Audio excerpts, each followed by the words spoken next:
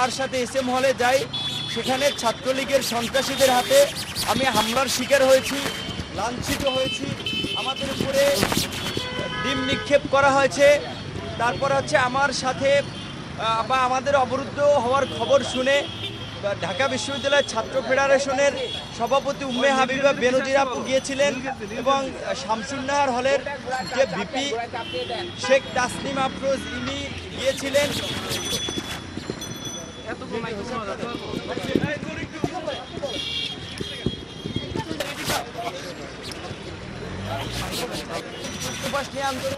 সর্বশেষ ডাকসু নির্বাচনের প্রত্যেকটি হামলার সাথে ছাত্রলীগের কিছু চিহ্নিত সন্ত্রাসী জড়িত ছিল।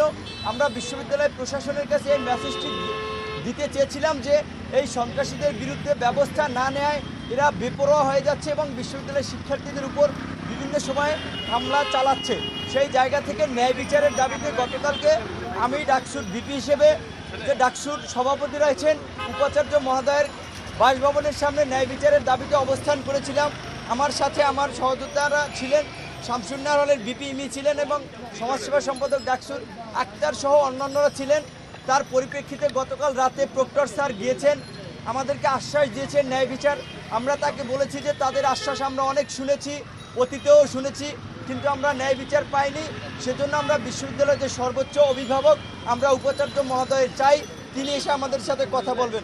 তার পরিপ্রেক্ষিতে আজকে সকাল নয়টায় তিনি আমাদের সাথে ওখানে গিয়ে আমাদেরকে কথা বলেছেন এবং তিনি বলেছেন যে ডাকসুর ভিপি সভাপতির পরে ভিপির অবস্থান, সেই জায়গা থেকে তিনি আমাদের কথা শুনতে চান। তিনি বিসি লাউঞ্জে আমাদেরকে নিয়ে গিয়েছিলেন, আমাদের সাথে কথা বলেছেন, আমাদের অভিযোগগুলো শুনেছেন। সেখানে আমরা তাকে স্পষ্টভাবে বলেছি যে বিশ্ববিদ্যালয়ের বিভিন্ন হামলায় ছাত্রলীগ জড়িত থাকার পরেও তাদের বিরুদ্ধে ওইভাবে কোনো ধরনের ব্যবস্থা নেওয়া হয়নি।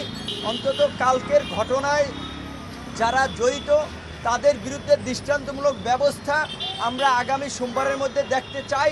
যদি তারা সেটা নিতে ব্যর্থ হয়, তাহলে হয়তো আমরা কোনো কর্মসূচি ঘোষণা করব। আর গতকালকে যে আমাদের দুটি দাবি ছিল, একটি ছিল যে এই সন্ত্রাসীদের বিরুদ্ধে দৃষ্টান্তমূলক ব্যবস্থা এবং আরেকটি হচ্ছে যে হলে যে অছাত্র বহিরাগতরা থাকে, এটাকে কেন্দ্র করেই মূলত কালকের ঘটনাটি ঘটেছিল। সেজন্য আমরা বলেছি প্রত্যেকটি হল থেকে অছাত্র বহিরাগতদের বের করে আবাসিক শিক্ষার্থীদেরকে রুমে তুলে দেওয়ার ব্যবস্থা করা এবং কোন শিক্ষার্থী কোন রুমে থাকে তার ডাটাবেস তৈরি করে অনলাইনে দিয়ে দেওয়া যাতে আমরা সহজেই খুঁজে বের করতে পারি।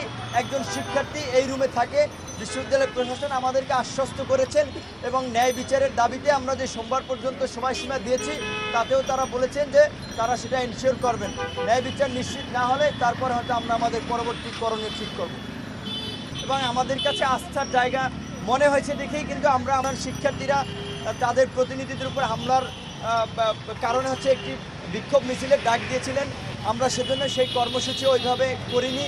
কারণ আমরা যেহেতু উপাচার্য বিশ্ববিদ্যালয়ের সর্বোচ্চ অভিভাবক তিনি আমাদেরকে ডেকেছেন এবং বিচারে আশ্বাস দিয়েছেন।